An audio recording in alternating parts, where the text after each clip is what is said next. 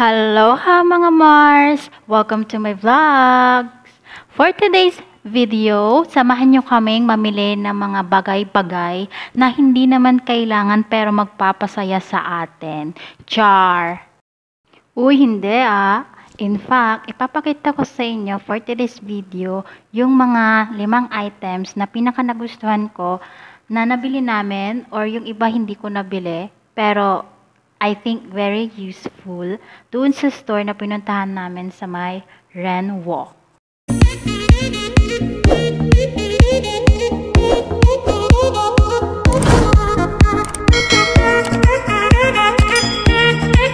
Una kong ipapakita sa inyong item is itong vacuum bag. Ito yung dahilan kung bakit pumunta kami sa shop or sa store sa Renwo. Dahil yung kasama ko sa work ay magpapabagahe din siya. At yung mga or karamihan dun sa mga ipapabagay niya ay mga bedsheet, kumot, cortina, kaya mas maganda na ilagay niya sa vacuum bag. Tapos, meron na ding mabibili doon na pang pump. Pero mas maganda pa rin kung vacuum yung gamit para mas mabilis humigop, ganun. Second item naman ay itong mga face mask.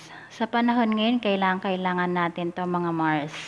Meron ditong 48 NT, 50 pieces na. At itong mga tag 10 pieces, pag plain color lang, um, 20 NT dollars. Tapos pag printed naman, 25 NT dollars. Lumalabas or gumagala na naka-makeup or naka-lipstick, mas gusto kong gamitin ito kasi hindi kumakalat yung lipstick. Itong pangatlong item naman, sigurado ako magugustuhan ito ng mga mahihiling magluto, lalo na yung mga laging nagpreprito.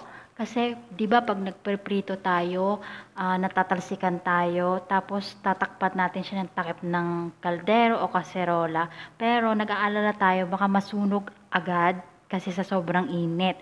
Pero itong bagay na ito, itong item na ito, ay perfect siya because hindi na tayo matatalsikan at hindi na rin tayo mag-worry na baka masunog agad yung ating piniprito dahil sumisingaw siya.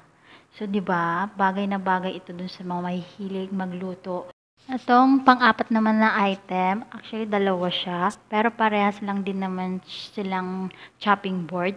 Yung puti, chopping board siya ng vegetable o prutas, tapos pwede na rin siyang um, gawing planggana. So, double purpose na siya. 88 NT isa. Um, ito namang isa is chopping board ng karne o kaya chicken. 180 dollars lang ito mga Mars. Kaya in-add to cart ko na. At ang panglimang item na nagustuhan ko talaga dun sa store na pinuntahan namin ay itong mga Marvel, Marvel na heroes na mga toys. Maliliit lang sila pero maganda to kapag mahilig kayong mag-collect ng mga Marvel heroes o kaya meron din dito yung pang Godzilla, ganon. Tsaka, hindi lang yan yung pwede yung mabiling toys doon sa store. Maraming marami pa at maraming mura, kaya swak sa budget. Meron pala akong idadagdag na item. Bali pang anim na ito. Itong hanger. Opo, tama po kayo, hanger ito, pero medyo malaki o sobrang laki. Naalala ko yung ate ko, tinanong niya kung para saan to. Um, ito yung hanger or hinahang namin dito yung bedsheet, kumot, cortina, ganon. Para pag hindi ganon kalaki ang sampayan mo, dito mo na lang siya ihahang.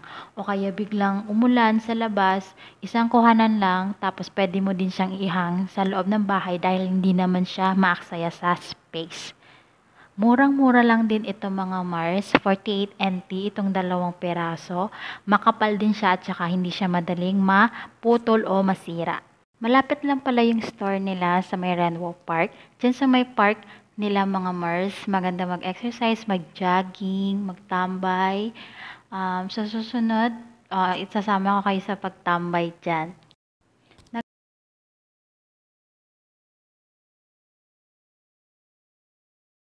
Ayun lang mga Mars. Thank you for watching. Always remember, do all things with love. Bye!